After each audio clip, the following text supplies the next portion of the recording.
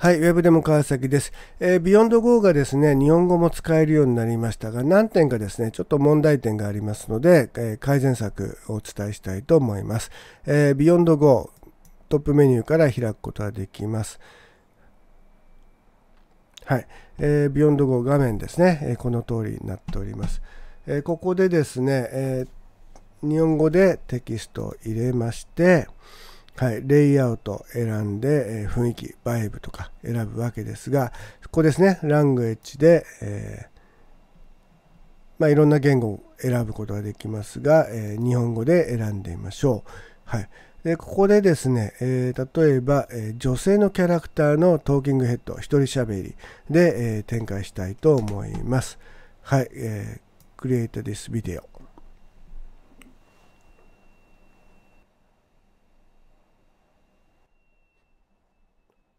はい、およそ1分ぐらいでしょうかね、えー、クラウド側で計算してアニメーションの元をですね。作ってくれることができました。非常にスピーディーですね。はい。で右側に、えー、スクリプトですね、えー、こう会話が出てきます、え、タイトル画面とそれから、えー、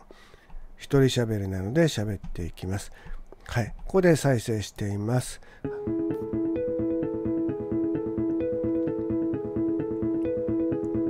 動画マーケティングをビジネスに活用することを検討したことはありますか？はい、えー、もうすでにお分かりかと思います。えー、テキストとスピーチで、えー、ナレーションのアルファベット順で一番 A に近い葵さんという声を使っておりますが、この葵さん、これ女の子、ちっちゃな女の子を想定しているですね、声なので、えー、ちょっと説得力が、えー、ちょっとないというか、そぐわない音声になってますね。はい、ですので、まあ、これ文章ここも改善していただくのを、まあ、やっていきつつですね、えー、これができましたら編集画面に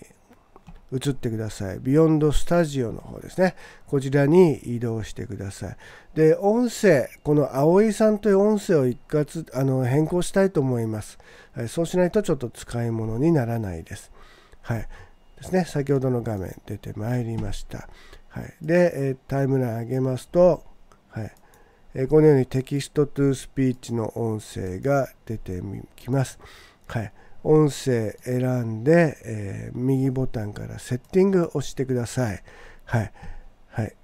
ここでですね、編集ボタン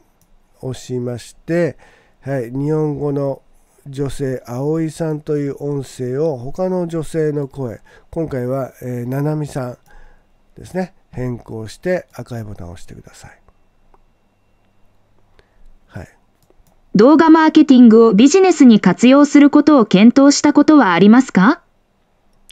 はい動画マーケティングをはい、音声を変えていました。通常だ、今動画マーケティングの。はい、えー、ですね。声がもう子供の声でしたからね、こう変更します。で、これ一つ一つ選んで、えー、設定していくっていうことでもいいんですけど、えー、マウスでですね、コントロールキー、キーボードを押しながら、えー、複数選びます。そして、えセッティングボタンを押して、はい、5アイテムズセレクトってなってますけど、編集ボタンからまとめて音声変更しちゃってください。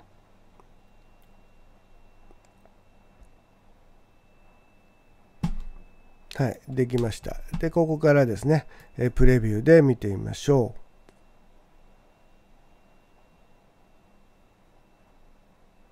う。動画マーケティングのメリットトップ5を見てみましょ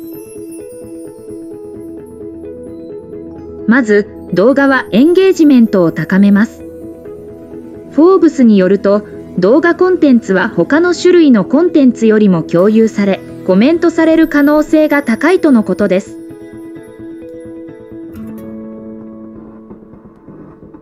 第2に、動画は SEO を改善します。ハブスポットの報告によると、ウェブサイトに動画を追加すると、Google の検索結果がトップページに表示される可能性が53%高くなる可能性があります。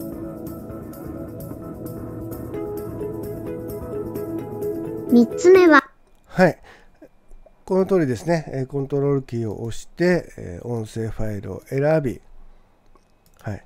そして、えー、右ボタンからセッティング、編集ボタンを押して、えー、音声を差し替え、そして赤いボタンを押すと変更されるというふうな手順になります。これで音声ですね、えー、変更してみてください。で変更すると若干喋る長さが短くなりますので、えー、タイミングもですね、えー、少しずつ変更して修正を加えてみてください。また、あのこの AI はですね、ジェネレティブ AI で作成されてますけど、えー、必ずしも正確な答えではないです。えー、特に今の SEO のところなどは、これ2021年前のデータの情報ですので、最新の情報はですね、えー、差し替えて正しいものに、えー、編集していく必要があります。ただ、まあ、こういう流れ的にですね、えー、こういう形で、えプロンプト、えシナリオ的には流れ的には問題ないかと思いますけど細かい文章のですねこういう数値とかそういうところは、え、編集する必要があるかと思います。はい、あくまで、えー、Beyond Go で作ったものは、まあ、最初の叩き台として使っていただくことがおすすめですのでね。はい